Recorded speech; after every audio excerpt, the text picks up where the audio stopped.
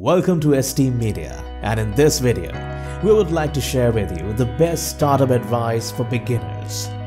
Do you plan to start your own business? You must go for it.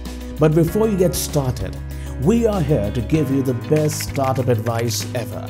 Reflect on what drives you and what you are naturally passionate about and find good people to support you. This amazing advice comes from a successful American entrepreneur and CEO of Twitter and Square, Jack Dorsey. This explains that we must choose the work that we are naturally passionate about. Because when you are the one creating work for yourself, compulsion is not an option.